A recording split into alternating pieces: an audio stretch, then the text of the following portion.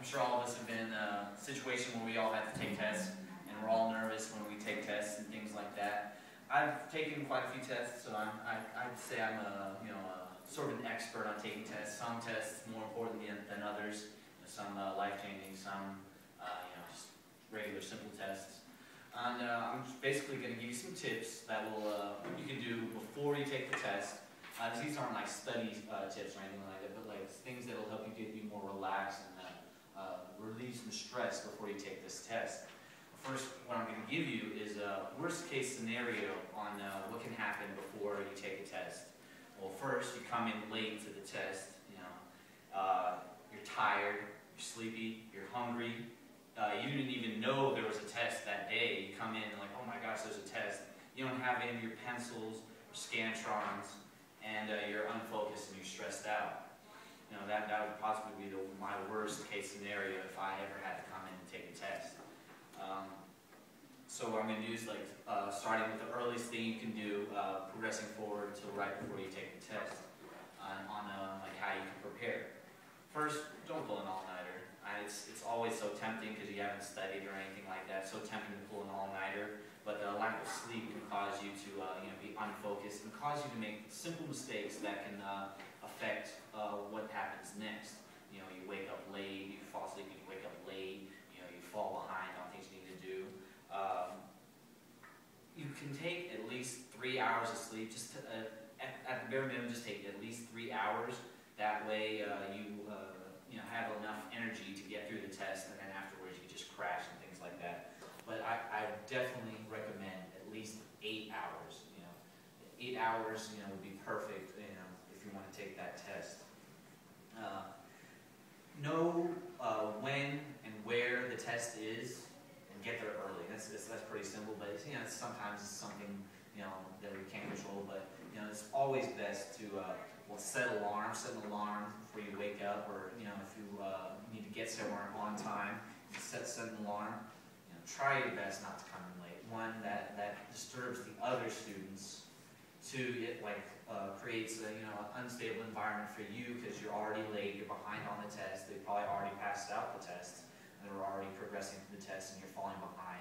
And you become more and more stressed as you uh, take the test.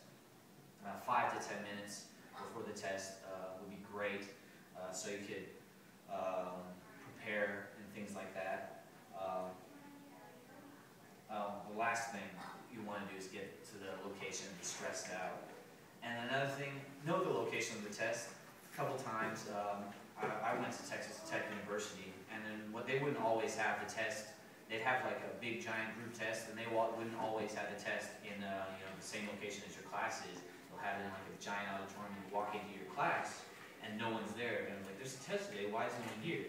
And you uh, find out, oh, they moved the test to uh, you know, the auditorium so they can uh, fit all the students in. Uh, when you get there, be prepared. Uh, have the necessary materials, pencils, calculator, your pens, your Scantrons, uh, things like that. Um, you know, it's always, you know, when you interact with the other students, it uh, create, gets you more nervous, things like that. Um, you, you asking someone, begging someone for a pencil, you're scrounging around trying to find a pencil. Um, if you don't have a Scantron, you can't even take the test. So, luckily, sometimes people will have extras. Some people are more prepared than others. Uh, take care of your bodily needs. Eat, drink, and uh, go to the restroom. Um, a couple times I'm taking the test and someone will have, always, always someone has to get up and go to the restroom. Um, they, they may have some sort of problem, but you know, it's always best to go to the restroom beforehand. Um, finally, you need to focus mentally, uh, get your uh, brain relaxed. Uh, one, one of the best uh, relaxing techniques is to uh, count down from 10 to 1, breathing in deeply in and out, in and out, 10 seconds before, uh, you know, before you take the test. Another thing, um, very tempting um, to do, don't talk to anyone else before you take the test. Uh, people will uh, distract you. Uh, sometimes they'll be more nervous than you, and that nervousness is uh, quite infectious to the other students. You know, you talk to them and like, are you ready for this test? You, did you study? It's like, yeah, I did. I, I'm pretty something on a test you don't want to do that because they can get you nervous, uh, you can get them nervous. Um, and then, uh, last two things, be comfortable, uh, you know, wear comfortable clothing, uh, so you aren't like scratching or itching during the test, and you're, uh, moving around, and always be positive, don't, uh, down yourself before you take the test, you know, don't, uh, think you can't do it, you know, more than likely, you're, you're gonna do well if you attend the classes and things like that, so.